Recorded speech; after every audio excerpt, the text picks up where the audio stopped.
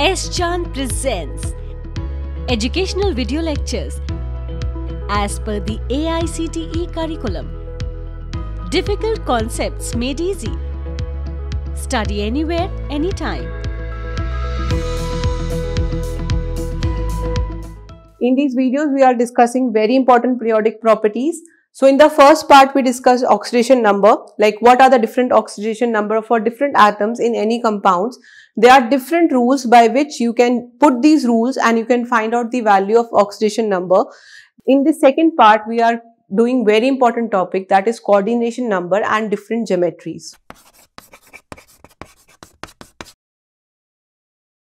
Welcome to S. Academy, myself Dr. Garima Gaba. If you want to read more about this topic, you can refer to the book by. Chand Publishing. The link of the ebook is given in the description box below. So let's move ahead with the second part. So our second topic is coordination number and different geometries. So we all have different number of friends with each other with whom we share our secrets like some of us having two friends, some are having three friends and so on. Similarly with these compounds. Total number of points of attachment to the central element is termed as coordination number.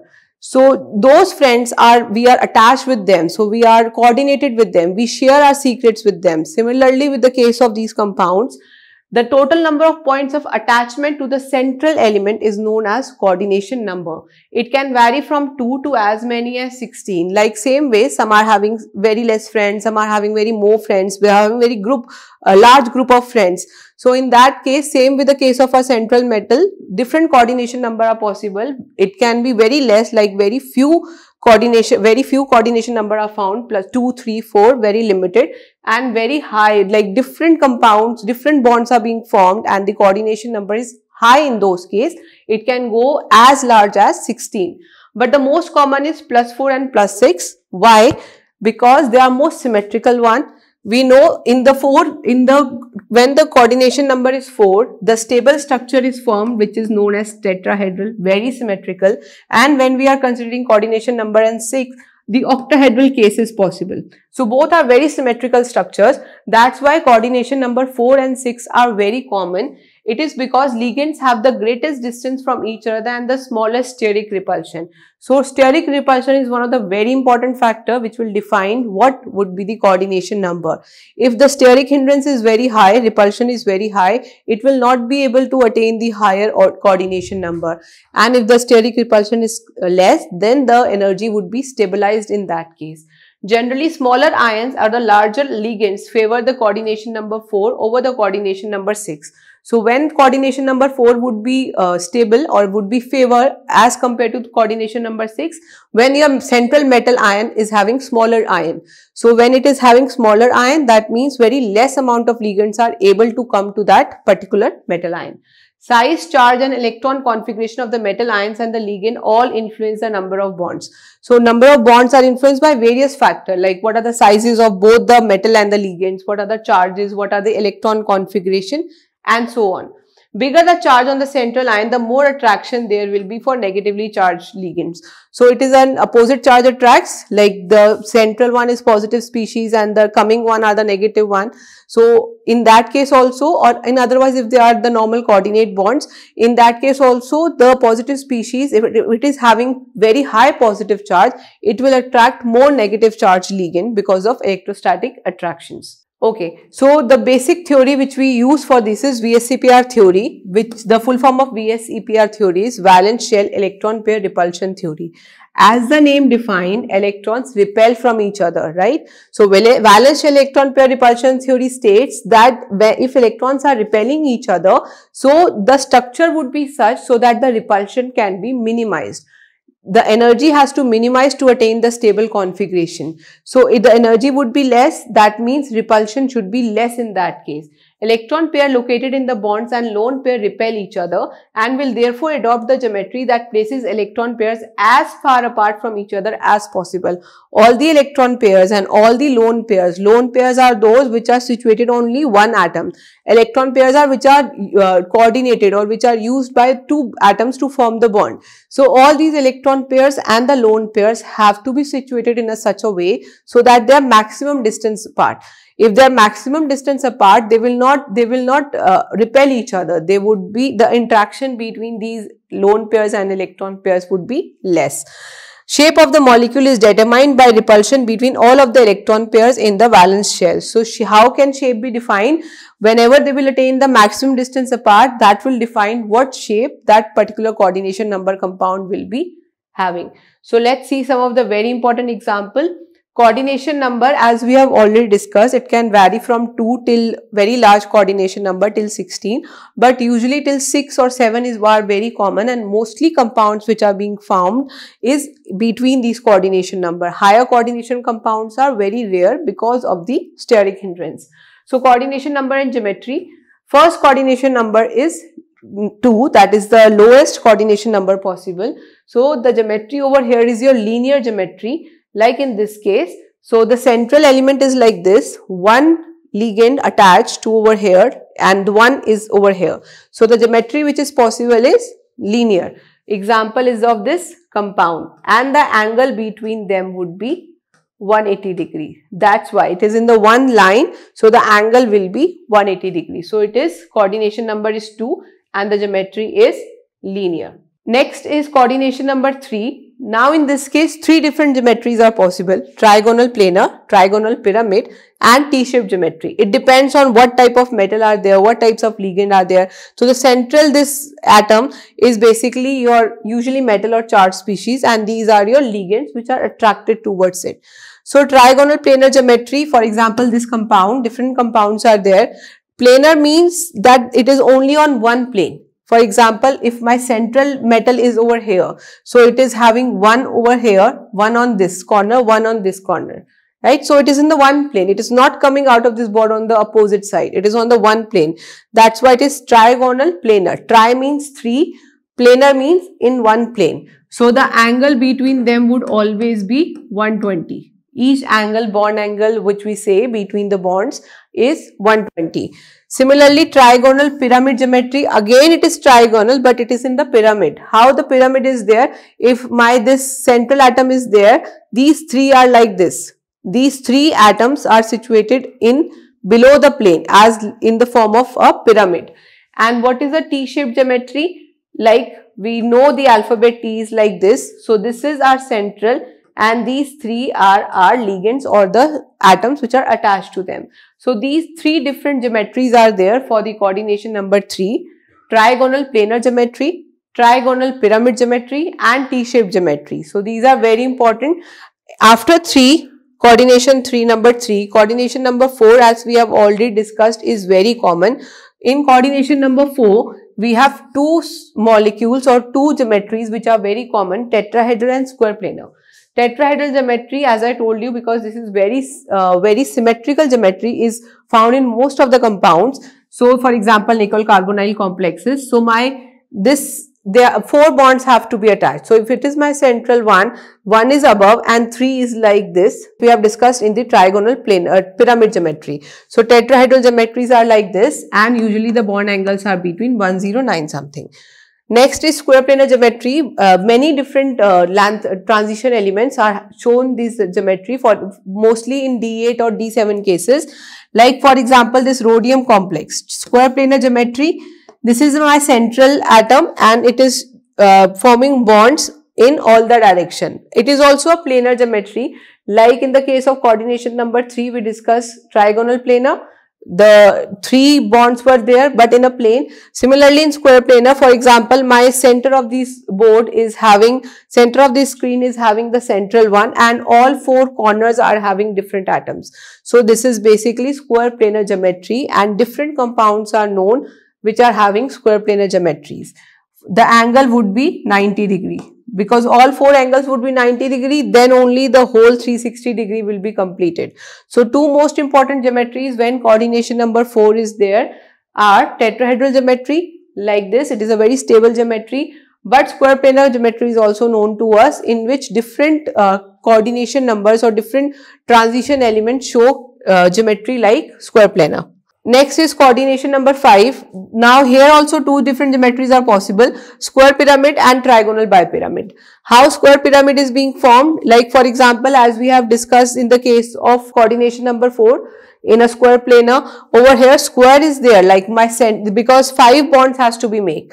Now if my center of the screen is having one atom and the 4 are over here, one comes out of the screen. So total bonds becomes 5. So there are 5 bonds has to be made then only coordination number 5 is possible and square pyramid geometry is like this. If it is my central one, 4 are in one plane and 1 comes out of the plane either over here or over here.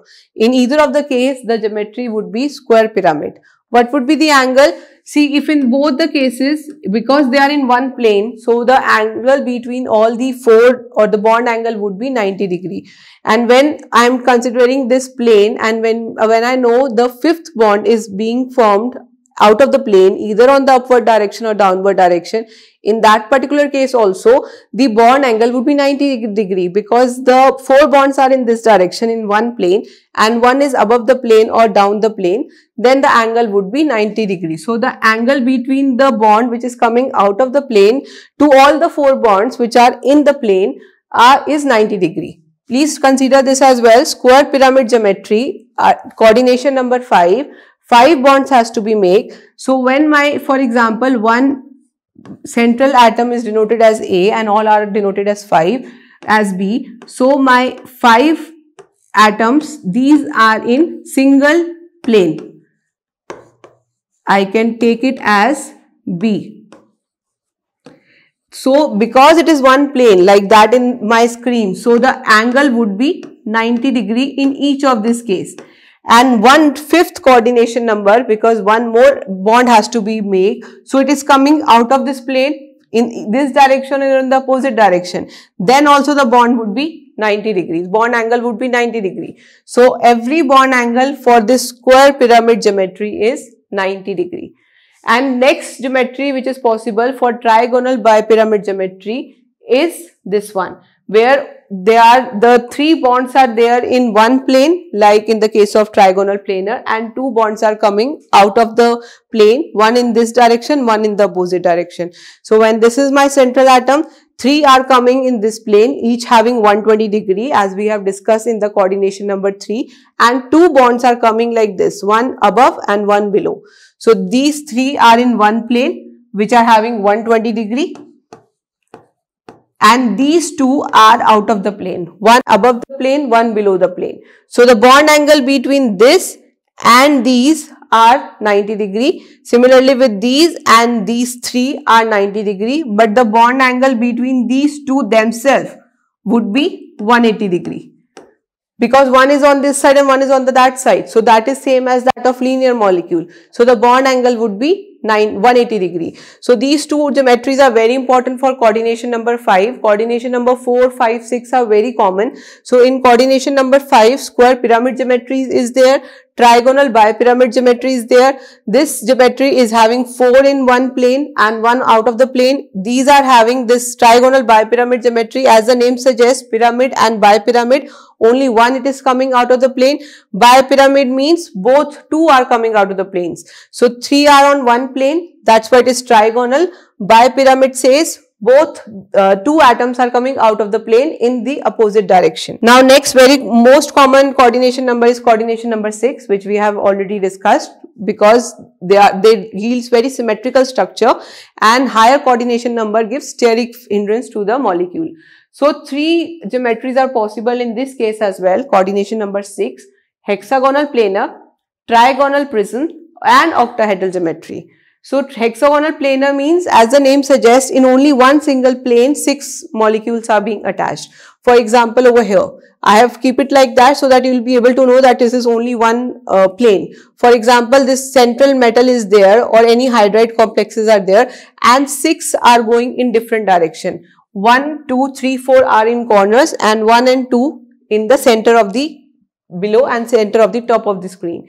So this is my hexagonal planar geometry and you can divide the 360 divide by 6 and you can find out what would be the bond angle for this hexagonal planar geometry. So it's given hexagonal that means 6 atoms are arranged planar means only in one plane. No atom is coming out of the plane. It is not coming. Second is trigonal prism. Trigonal prism is having geometry like this. If you are able to know, this is my central. Three are coming on the top of the plane, three are coming in the round of the plane.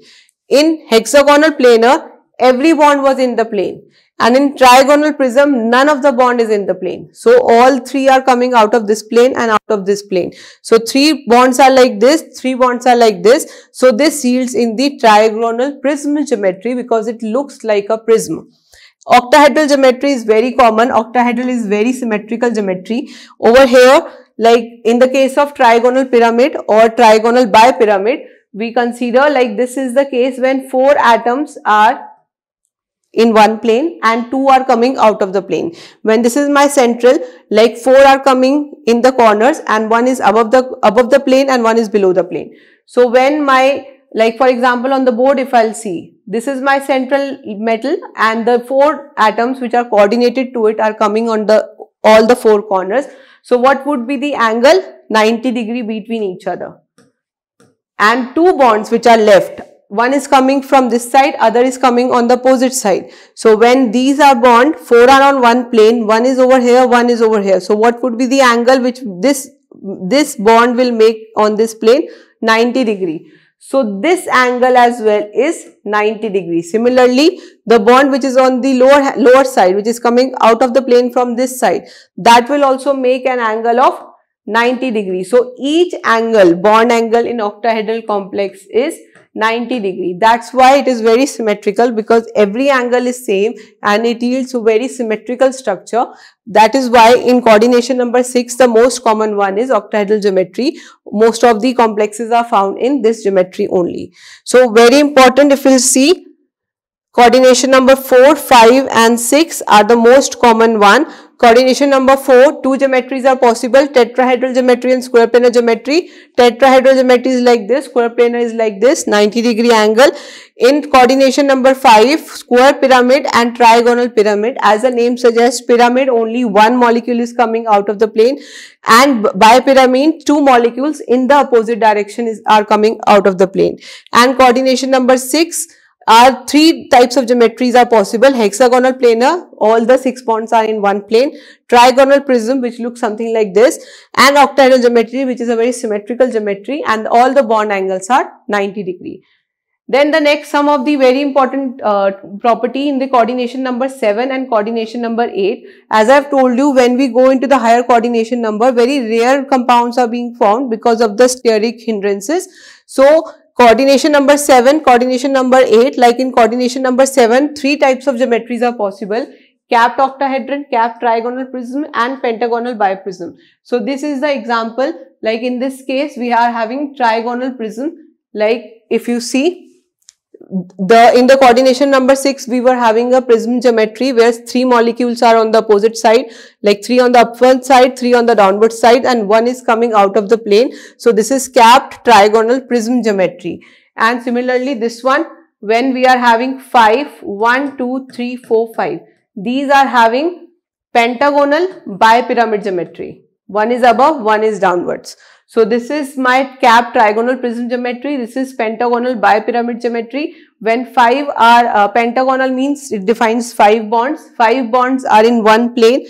Two are coming one above the plane, one below the plane. So total will become 7. That is the coordination number 7. Similarly, higher coordination number like coordination number 8, different geometries are possible. Dodecahedron cube geometry, cube when all the all the like it, it occurs as a gift box. So it are having 8 corners. In all the 8 corners, different bonds are there square antiprism, hexagonal bipyramidal. So these are some of the geometries of coordination number 7 and 8. Similarly, higher coordination number are very rare like coordination number 9, 10, 11, 12. So these are some of the geometries. So different uh, complicated structures are there which are difficult to for you to understand in just a plain paper but you will be able to know if you see the three dimensional structure. For example, coordination number 12.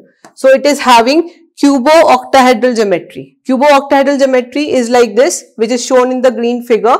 So 12 coordination number like 6 are this 1, 2, 3, 4, 5, 6, like 6, 6 bonds are in one plane, 3 are like this, 3 are like this. So this is my coordination number 12 cubo-octahedral geometry where 6 are in one plane, 3 are above the plane, 3 are below the plane. So coordination number becomes 6 plus 3 above the plane plus 3 below the planes that is coordination number is 12. So higher coordination number as I have told you is very rare and the structure which is shown is very complicated. So 3D structures is possible. You can have a look into those videos and you can uh, see what is what would be the structure and how different bonds are coordinated with each other in these types of molecule. But these are very less stable and very rare molecules are there which are having higher coordination number. So that's all for today's video. So in this part of the video, we discussed various coordination numbers and their geometries. So from low coordination number as low as 2 till 12, all coordination number possible. In fact, till 16 are also possible, but very rare complexes or molecules are there which are having coordination number more than 7, 8, 9, 10 and so on.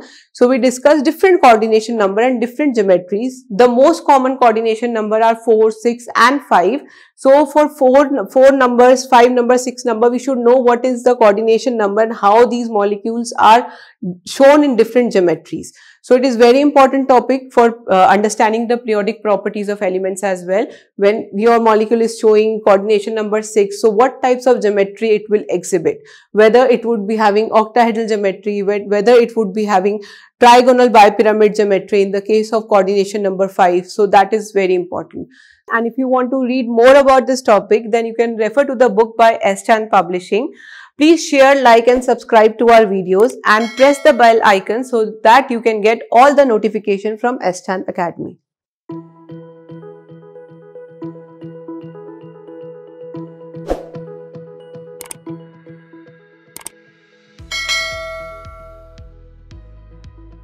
All rights reserved. This video has been prepared for educational purposes only. No part of it may be reproduced or copied without the permission of the copyright holder.